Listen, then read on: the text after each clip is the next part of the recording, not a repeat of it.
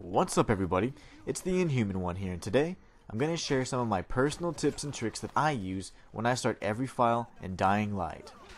We're going to not only get our hands on a pistol, but we're also going to get our grubby little mitts on two developer weapons as well, immediately after the start of the game.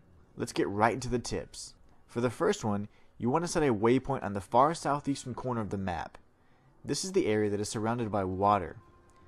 One of the houses will have a large sign that says, take what you want. Now unfortunately, this is merely for decoration as there's nothing to pick up. But head inside the shack to find a man that has taken his own life.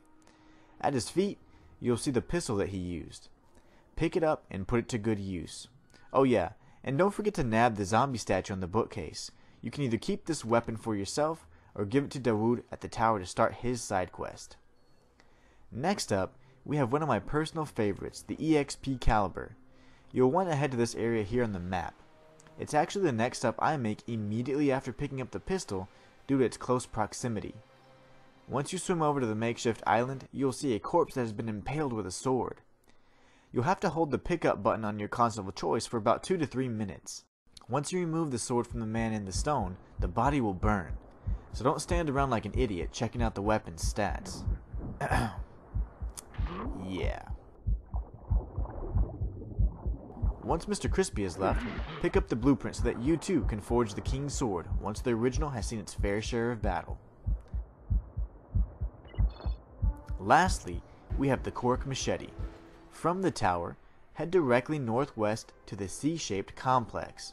Once you arrive, jump the fence and head to the right where the air conditioning unit is.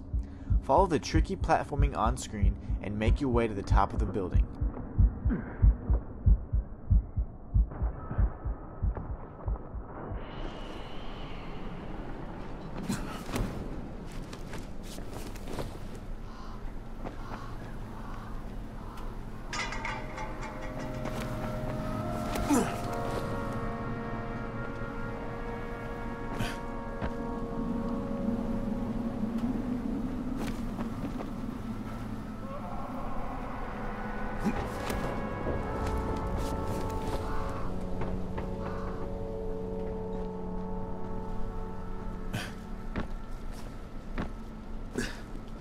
Once you arrive, search for some crates marked with a pink bunny.